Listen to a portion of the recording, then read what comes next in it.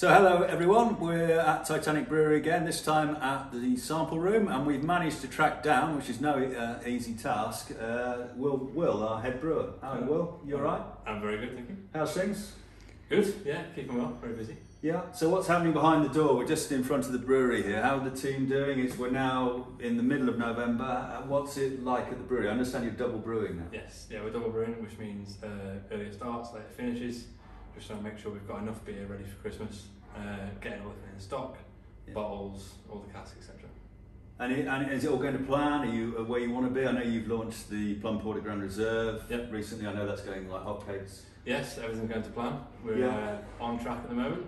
Yeah. Hopefully December doesn't uh, Yeah. get in the way, but we'll see. Will that? How long will that in uh, well, forecast to last for? Is it going to go right the way through to Christmas or to Christmas? The, Plum Grand Porter- Reserve? The Grand Reserve, yeah. Yeah, we're going to keep brewing as, as long as we can, uh, Yeah. but when it's gone, it's gone, so make sure you get it. Yeah, well, watch this space. For anybody who, uh, who doesn't know, our Plum Porter Grand Reserve, uh, we're doing a, a variety of uh, sizes. They're all available on the website, titanicbrewery.co.uk. This particular one is the 330ml, uh, which is very popular. There's a 75cl, which has uh, the port infused element as well. They're both selling really well. But don't wait, uh, they're obviously great gifts as well, so they're, and they're really selling uh, very well. So, uh, and, and just talk to us about the team and how it's working double brewing. You were saying you have to do, do, do you know, early mornings, late nights. And is Yeah. that the way it always is at this time of year, November? Yeah, yeah. November's always the busiest month for us. Surprisingly, it's not December; it's November. We're getting ready for December, Yeah. um, and we're finally employing a fifth member of production as well, Great. uh, who will be joining us on the first of December. Uh, Okay. Just, in after the rush. Just after the rush, yeah. yeah. Um, Yeah. but yeah, back to how it was pre-COVID. Finally, the fifth member's back. So we did have five before, and now we do again.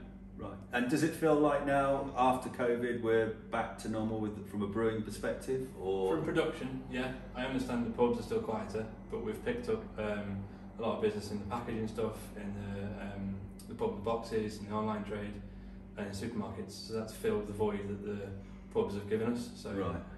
When the pubs are all back to full capacity, uh, we're going to be very very busy.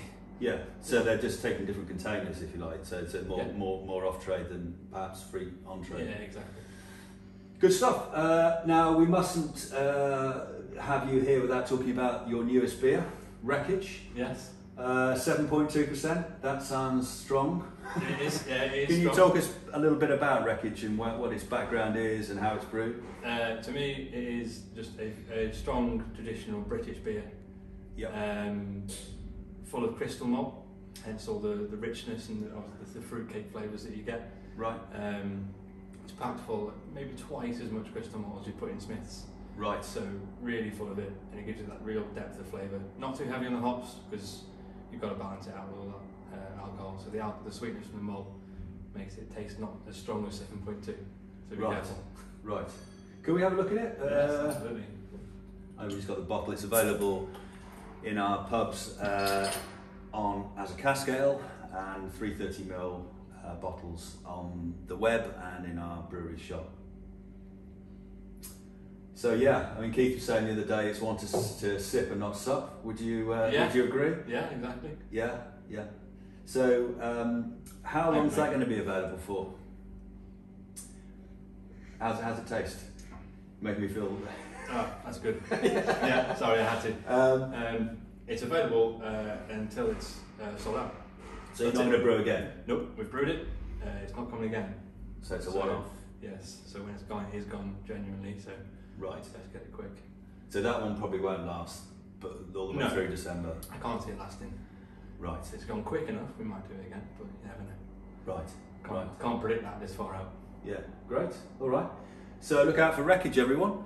Um, as I say, uh, website, uh, our pubs, our brewery shop, uh, and some free trade. Um, but looking ahead, just finally, Will, where do you see the new year? 2022. Have you got some new brews in mind as well? We do. Anything you can talk about at this stage? Yes. Yeah, we have a new um, we have a new IPA on the cards. Okay. The, uh, the pandemic got in the way of previous launch. This was meant to be January last year. Right. we obviously saw the pandemic coming. It was in planning. It was meant to be launched around March. Lockdown hit, no chance. Um, so it's going to go into our mainly into our keg range to fill a, a void in the stronger pale category in the IPAs. But we will. Uh, we're still in discussion about what uh, what package to put it all in. Right. Whether we do can or cask, uh, we'll see yet. But IPA definitely, Right. and probably a return of some seasonal beers. Oh, okay. Um, in in light of the pubs getting hopefully back to full busyness, we will Yeah. be doing the maybe not the same as what they were before, but Right. if you remember Nine Dogs and Kiwi Fleet, Right, uh, IPA. Forgotten Gold, Right Yeah. IPA, Yeah. all those ones, uh, either some of them or new ones will be returning. Right. So lots going on. Yeah. Brilliant. Lots to do. So it looks like uh, 2022's got a, a lot in store. I hope so. Well, what we'll do is keep you updated. Um, we'll, as we, we know the plans more specifically, we'll give you updates on Facebook. Um, but well, if it's okay, we'll come back to you after Christmas perhaps, and then just Yeah, see what, see how the brewery looks I then. might be and- way more tired than this. Yeah.